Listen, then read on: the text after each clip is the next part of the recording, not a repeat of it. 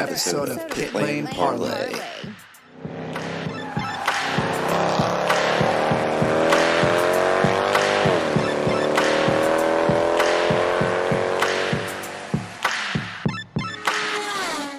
Welcome to a special episode of Pit Lane Parlay. We're going to call this first episode the Lost Tracks Edition. We're going to start with my home track in Nazareth Speedway, and I am joined by one of the guys from the Save Nazareth uh, group here with Tim Silliman. Tim, thanks for joining me tonight. Thanks for having me. I really appreciate you reaching out to me. Yeah, Mike. no problem. Uh, you know, so for those who may not be familiar, Nazareth is located uh, near me, about an hour and fifteen minutes north. And uh, Tim, take us through the founding and you know the the real old school of uh, what, what was then called Nazareth National Speedway. All right. Um, so uh, I'm not sure how many people actually know. Um, there was actually a horse track closer in like middle of town back in the 1850s. So this is, so it was like your old style, you know, of a horse. You know, like I think it was like a mile or so, or maybe or maybe it was a half mile. Um, but it, it was around like 1900 or so.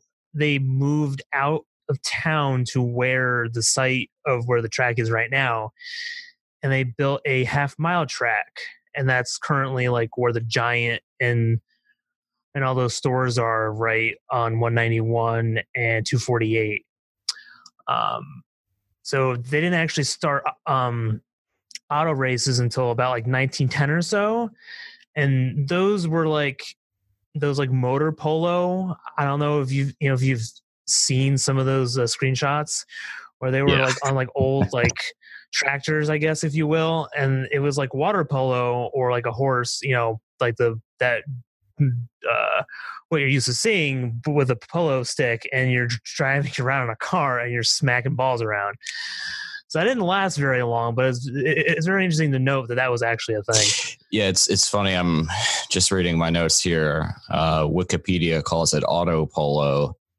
uh, and it it actually drew a crowd of at the time, which I guess is pretty big, and you know, 10,000, 11,000 people, which is pretty substantial for kind of a rural area in northeastern Pennsylvania. Yeah, so um going a bit further down, um the uh first like large race was hosted after World War II. Uh it was hosted by AAA. If um I'm not sure like a lot of the younger people, uh, of course I'm saying younger, I'm not that old either, but I'm sure there's a lot of folks that probably don't know about AAA and you know the things that they used to do like that back then and that and for, for then a large race was about 30 something cars or so and and they crammed that in with 11,000 people or so. So that was a pretty big event back then. Um so a second track was built in 1966 so that was the larger uh one mile uh dirt. Well, was actually one one eighths it was an odd uh length but not a lot of people probably know that there was actually two dirt tracks. There was a larger um, oval, and then there was a smaller half mile.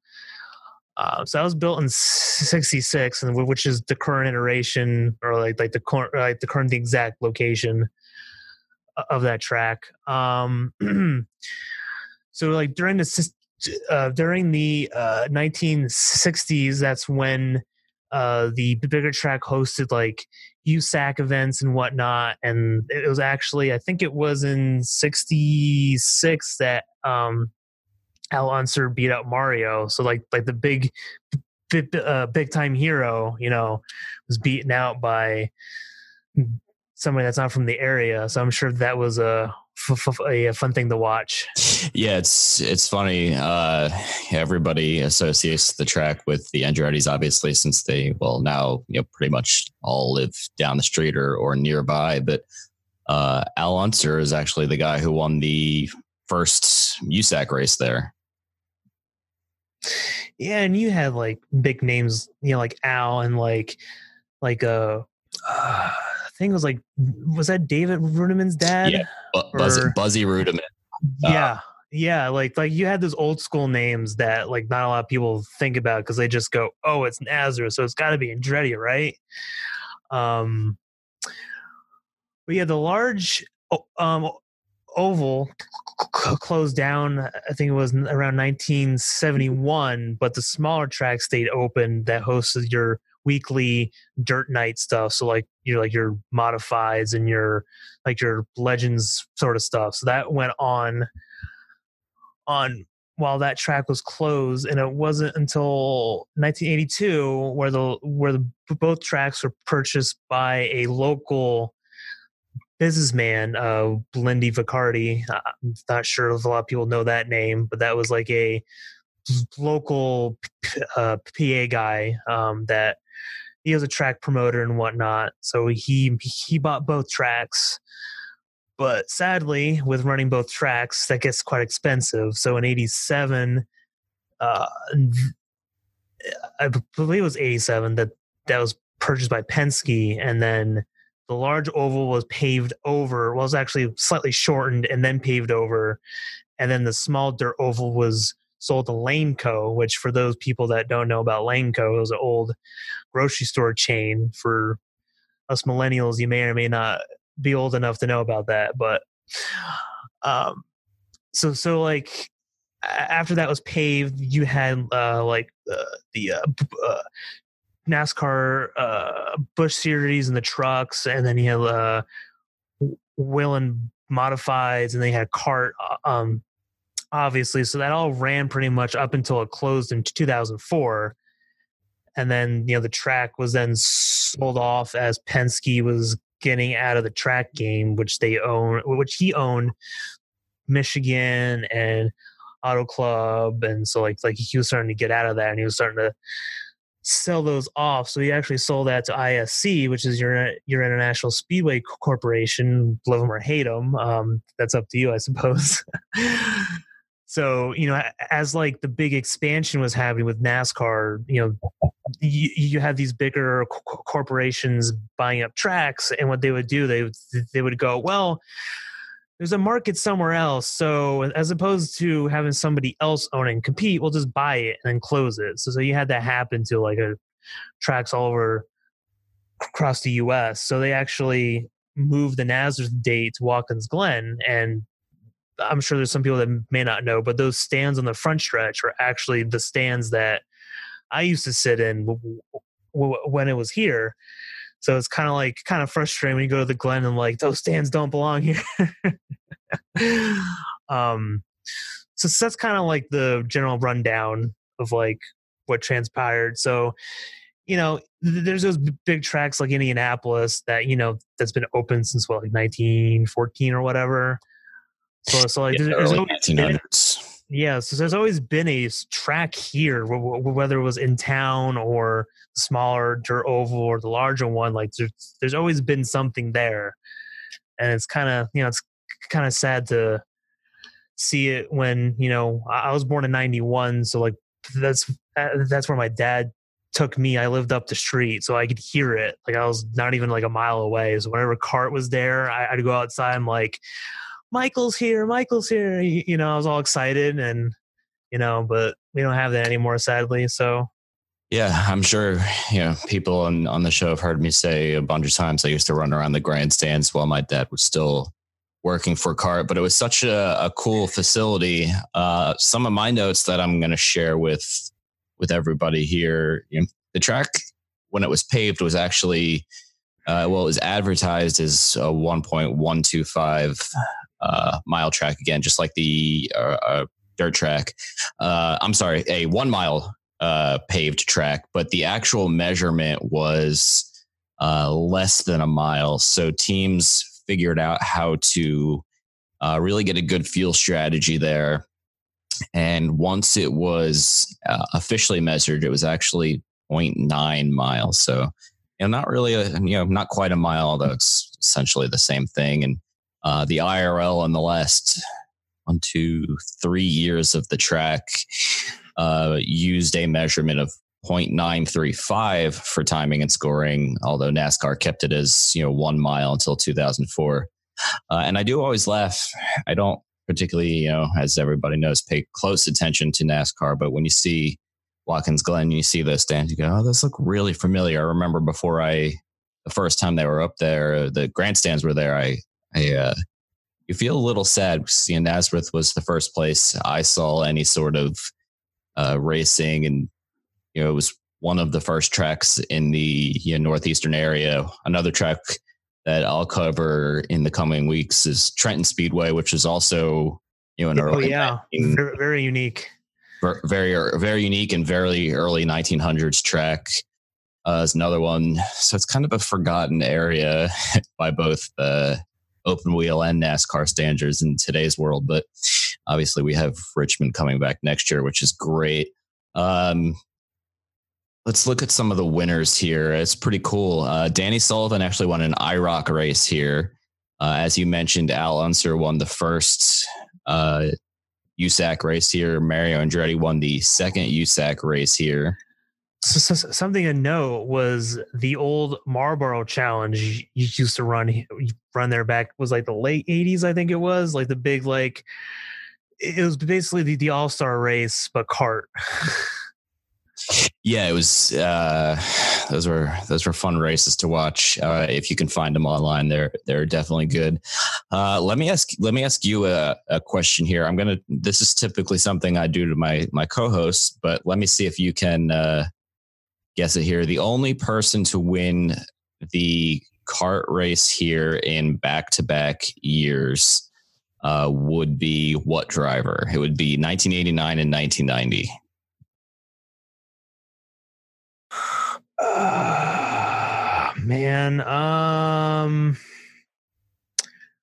I don't, I don't want to say no. For some reason, I was going to say Little Al, but that's I feel like that's not right. Yeah, you would be incorrect on that one. Uh, I honestly wouldn't wouldn't wouldn't know to be honest. So I feel bad. no, it's it's all good. Um, I appreciate all your insight on the on the early years of the track here. I know uh, I didn't tell you that this would be going on beforehand, but it it's actually Emerson Fittipaldi who in 89 Oh. won it with Patrick Racing and 90 won it with Penske. Uh, Nigel Mansell won here. Paul Tracy won the, uh, twice uh, at Nazareth. And then uh, the late, great Dan Wheldon won the final race here in 2004. Uh, let's see. I know some, some interesting notes. The 2000 race was actually, I believe, the week after the Indy 500 because it was postponed due to snow. Yes, yes, I remember that year. I was supposed to go, and I think was that like in in, April, and like it, the whole track, the whole track was covered in snow, and I didn't end up being able to go because then my mom went, and I remember that story. She, she was like, "Yeah, yeah, we went," and then Michael crashed or whatever, and then like, for uh, she described it as like crashing in flames or something. I, I wasn't actually there, so I don't actually know how the crash happened. But I was like, oh man, you know, just had to snow in April.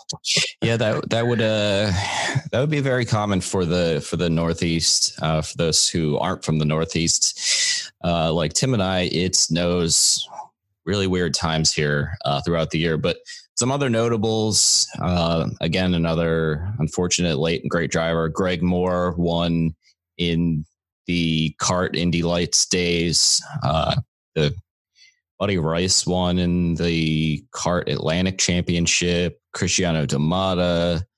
Let's see here. Robbie Buhl, everybody's favorite Mike Groff won twice here at CART Indy Lights. I think Matt will get a kick out of that one because I brought up his name a couple weeks ago. Uh, and I believe, correct me if I'm wrong here, but this was Scott Dixon's first win in 2001 or was his second ever IndyCar? want to say it was his first because I, I remember on Facebook when they were when IndyCar was doing like I, I don't know if it was specific to Scott or if it was to like in like in, as general events throughout history, but they streamed that race on Facebook Yep. Live, and I'm pretty sure it was his first win. Yeah, back then it was uh, PacWest Racing. Um, Matt's favorite driver, uh, Helio Castroneves, won there in 2003, the second, so last year. And uh, see, Bobby Rahal, another semi, well, East Coast ish favorite, won in 1992. Let's see who won. Um, Michael Andretti won the year I was born. That's that's um, 1987 for those keeping track at home. Um, let's see here. What else we had? We had some. We never had NASCAR. I don't know whatever it is, Monster Energy Cup, Cup Series, whatever it was back yeah. then. But we had the Busch Series and some of the the Truck Series. Yeah. Uh, there was a note. Uh, I think it was Kenny Wallace. I don't want to throw him under the bus, but I remember there was a race. I think it was him, and he was there, and he was complaining about it being five turns. Yeah, it does sound for it does sound familiar. I don't know either. Uh, it probably was Kenny Wallace because he says a lot of ridiculous things. Uh, but I don't I don't recall.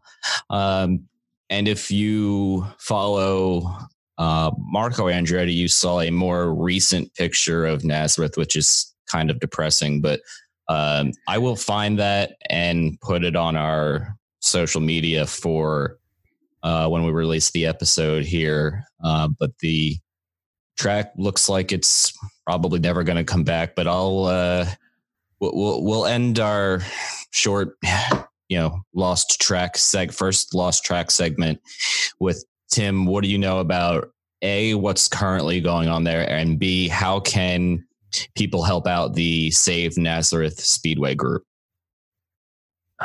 All right. So here's here's the lowdown. Let's see. Back in September of 2018, it's been actually just been over a year. I started a petition and just as as a disclaimer, I never really um, believed that I was actually going to do anything. Yeah, I've gotten some flack online from like IndyCar Reddit and stuff. They're like, "Oh, just because you make a petition, does that mean it's gonna, you know, actually happened. I'm like, it, it, it was always meant as a focal point of people's voices to go, hey, this, you know, we all believe in this thing. So I started this petition first, not as a means to bring the race like track back to life and bring bring r- racing because I, I always felt not like to be like morbid, but I didn't really think it was going to come back. So first, I made this uh, Mm. by myself and I wanted to have iRacing scan the track. Like if something was going to, if something good was going to come out of this, I wanted to at least have it vir- virtually saved for as long as there's the internet that somebody could could at least enjoy it and run a virtual car and at least kind of feel you know the ups and the downs and like five turns. Like that doesn't really happen on an oval right now um, so that kind of like took off like the first few months. Um, we like a few thousand people signed. Um, a, a good per- personal friend of mine bought a uh, a uh, a copy of the deed uh, to like read through it, just understand all of the ins and outs. And I I still have a co- a co- copy of it, and the clause is like so in depth of like you can't do anything that's related to like motorcycles, anything that has an engine in it. Like it, it, it could even be go karts. Like they won't let anybody run a go kart as long as there isn't a ticket to spectate a go kart. Like it, it, it, goes as deep as saying that you can't sell racing memorabilia. Like you can't sell video games that have racing on that property. Like they didn't want anyone to do a damn thing with it, like nothing. So that was always like the big hurdle. So like when uh, uh w- when the current owner bought the track, you know, for from understand, people were calling him on the phone. They're like with all these ideas, like, "Hey, let's do this. Hey, let's do that." And I called him on the phone, and I was like, "Hey." I started this petition. We got a few thousand people signed it. Like, I know nothing's really going to happen, but I wanted to bring this to your attention.